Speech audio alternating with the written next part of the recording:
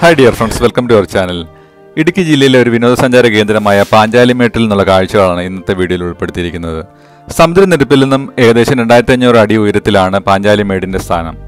കോട്ടയം കുമളി പാതയിലെ മുറിഞ്ഞപുഴയിൽ നിന്നും ഏകദേശം നാല് കിലോമീറ്റർ ദൂരെയായിട്ടാണ് പാഞ്ചാലിമേട് സ്ഥിതി ചെയ്യുന്നത്.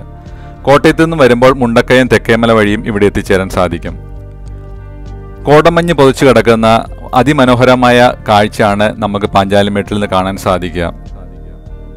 ഞങ്ങൾ പാഞ്ചാലിമേട്ടിൽ എത്തിച്ചേർന്നപ്പോൾ ഏകദേശം വൈകുന്നേരമായിരുന്നു. അതുപോലെ തന്നെ മഴയും പെയ്യുന്നുണ്ടായിരുന്നു. അതുകൊണ്ട് പാഞ്ചാലിമേടിന്റെ എല്ലാ ഭാഗങ്ങളും പോകുന്നതിനും കാണുന്നതിനും സാധിച്ചിട്ടില്ല. ഞങ്ങൾ കണ്ട കാഴ്ചകളൊക്കെയാണ് ഈ വീഡിയോയിൽ ഉൾപ്പെടുത്തിയിരിക്കുന്നത്. രണ്ടായിരത്തി പതിനെട്ടിലാണ് ടൂറിസം ഡിപ്പാർട്ട്മെന്റ് നേതൃത്വത്തിൽ ആദ്യഘട്ട ടൂറിസം വികസന പദ്ധതികൾ പൂർത്തിയാക്കി പാഞ്ചാലിമേട് സഞ്ചാരികൾക്കായി തുറന്നു കൊടുത്തത്. അതിനു മുന്നേ ഞാനിവിടെ പോയ സമയത്ത് പാഞ്ചാലിമേടിൽ ഇതുപോലെയുള്ള നിർമ്മാണ പ്രവർത്തനങ്ങളൊന്നും ഉണ്ടായിരുന്നില്ല.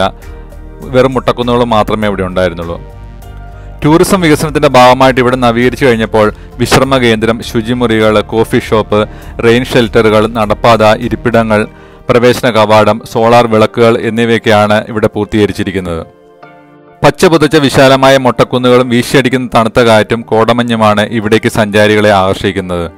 പൊന്നമ്പലമേട്ടിൽ മകരജ്യോതി തെളിയുന്നത് കാണാൻ വിവിധ ഭാഗങ്ങളിൽ നിന്ന് നിരവധി തീർത്ഥാടകരാണ് വർഷം തോറും പാഞ്ചാലിമേട്ടിൽ എത്തിച്ചേരാറുള്ളത്.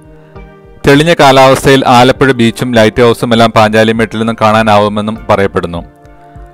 പഞ്ചപാണ്ഡവർ വനവാസ സമയത്ത് തങ്ങിയ സ്ഥലം എന്ന ഐതിഹ്യത്തിൽ നിന്നാണ് ഈ സ്ഥലത്തിന് പാഞ്ചാലിമേട് എന്ന പേര് ലഭിച്ചിരിക്കുന്നത്.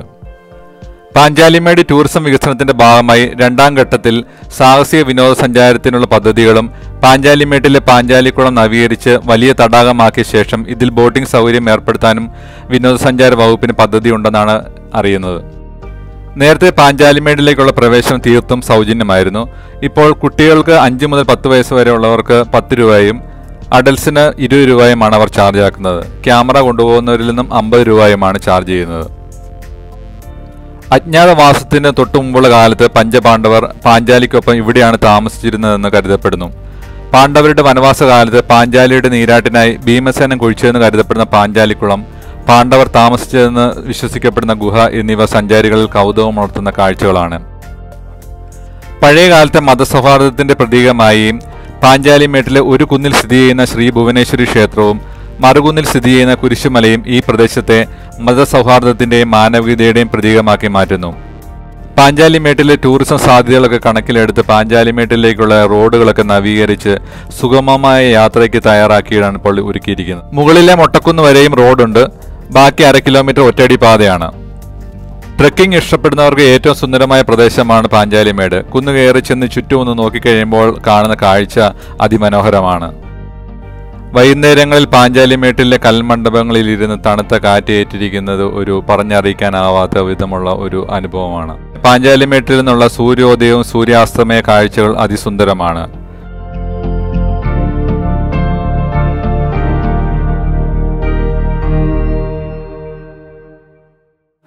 പാഞ്ചാലിമേട്ടിൽ നിന്നുള്ള കാഴ്ചകൾ നമ്മളിവിടെ അവസാനിപ്പിക്കുകയാണ്. ഈ വീഡിയോ നിങ്ങൾക്ക് ഇഷ്ടമായി എന്ന് കരുതട്ടെ.